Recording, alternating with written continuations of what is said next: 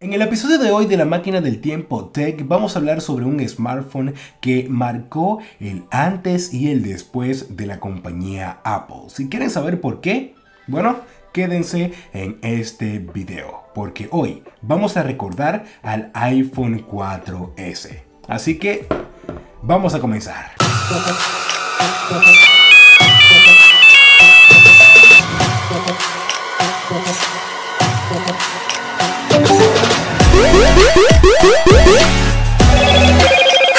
Moto.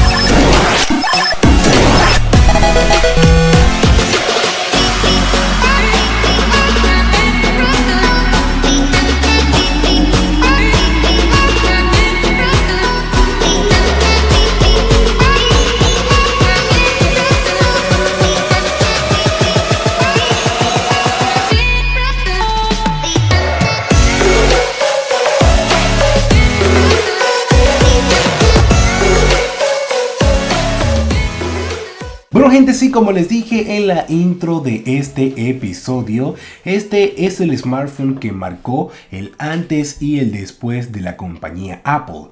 Y ustedes se estarán preguntando, ¿y por qué, Johan?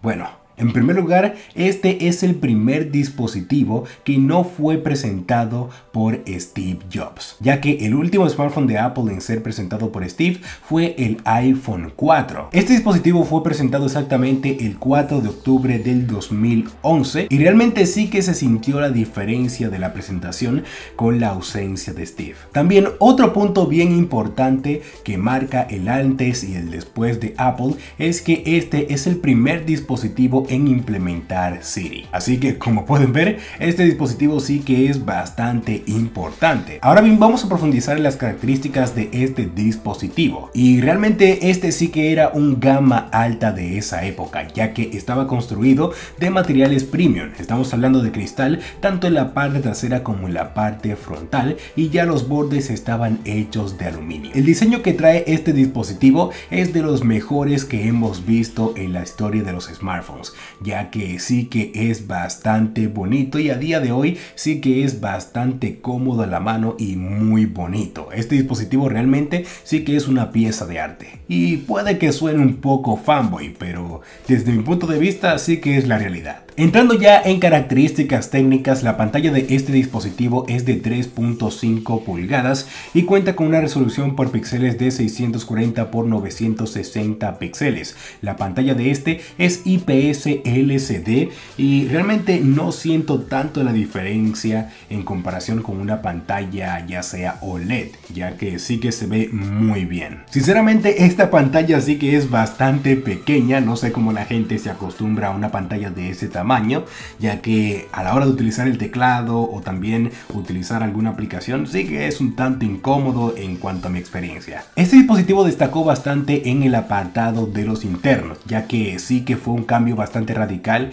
en este aspecto en comparación con el iPhone 4, porque estamos hablando de que este viene con el chip eh, Apple A5, el cual es de 45 nanómetros y también venía con iOS 5, pero ya este dispositivo que tengo en la mano, déjame checar, este actualmente se encuentra en iOS 7.1.2 y ya se quedó ahí. Este vino en distintas versiones de memoria RAM y almacenamiento interno. Estamos hablando de una versión con 8 de almacenamiento interno y 512 de RAM, otra con 16 de almacenamiento interno y 512 de RAM y otra con 32 de almacenamiento interno y 512 de RAM. También hay una versión bastante top eh, para ese tiempo que era de 64 de almacenamiento interno con 512 de RAM. La versión que tengo actualmente tiene 16 de almacenamiento interno y 512 de RAM, o sea que para ese tiempo sí que estaba bastante bien, pero hoy en día sí que la experiencia es bastante tediosa. La batería de este dispositivo es de 1432 miliamperios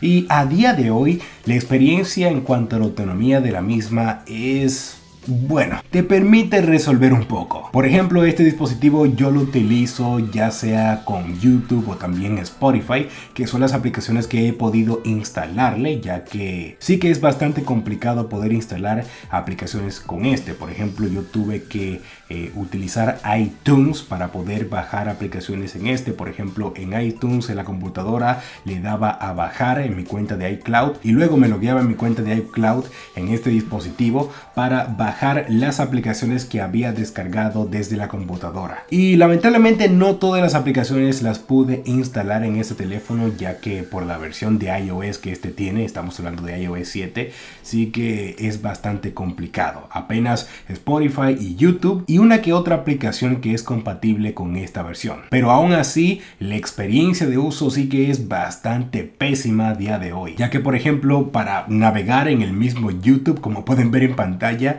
sí que es una completa agonía, pero sí se puede resolver. Hablando un poco sobre la cámara, este teléfono tiene cámara frontal y cámara principal. La cámara principal de este es de 8 megapíxeles y cuenta con una apertura de 2.4 y ya la cámara de selfie es una cámara VGA la cual está dedicada para poder hacer videollamadas o FaceTime. La cámara principal del teléfono es capaz de grabar video en 1080 a 30 fotogramas por segundo que fue algo que llamó bastante la atención de esta versión y ya la cámara frontal es capaz de grabar video en 480 a 30 fotogramas por segundo. Ahora bien, aparte de los internos, ¿qué era lo que diferenciaba a este iPhone 4S del iPhone 4? A nivel de diseño, el dispositivo se diferenciaba bastante por las antenas, ya que por ejemplo el iPhone 4 no cuenta con esta antena de aquí y también en la parte superior el iPhone 4 traía una antena acá, pero este iPhone 4S no la trae. Si no mal recuerdo, el precio de salida de este dispositivo